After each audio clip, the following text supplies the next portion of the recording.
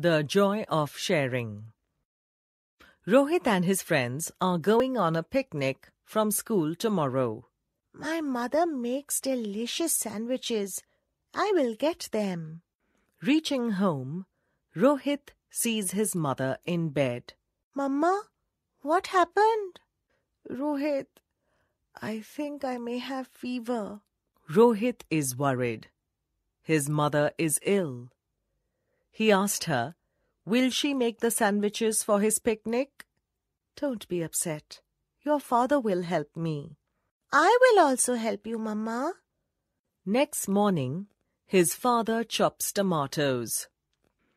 Rohit puts cheese on the bread slices and his mother puts everything together. The sandwiches look yummy. Rohit smiles. He hugs his father and mother.